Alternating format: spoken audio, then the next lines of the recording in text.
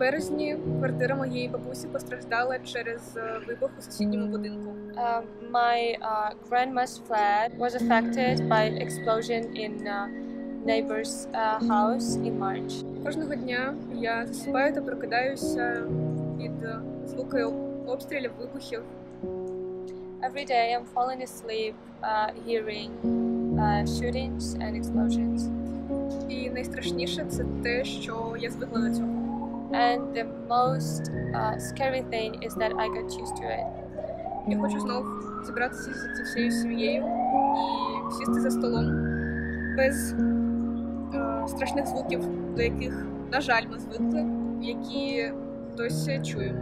I just want to gather my whole family and sit at a table again peacefully without hearing those explosions and uh, these bombs. God save Ukraine.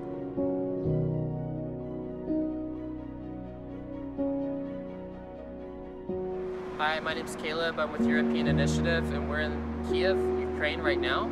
We just brought refugees from areas in southern Ukraine here. And on this trip, we've delivered 440 food bags to people in Ukraine that are very close to Russian occupied territory and who are in deep need. And we're able to do this because of you. We actually experienced what it's like to be fired upon on this trip. We were in an area that Russia saw us and fired upon us, and God delivered us and He saved us. Praise the Lord.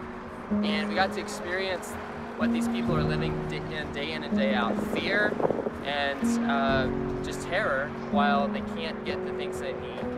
We're so thankful for you. Thank you for sending us to dark places, and for believing in the power of the gospel. We shared the gospel in the villages as well, and at each food bag there was a flyer describing God's love despite this war. We're so thankful for you. Thank you for sending us to Ukraine.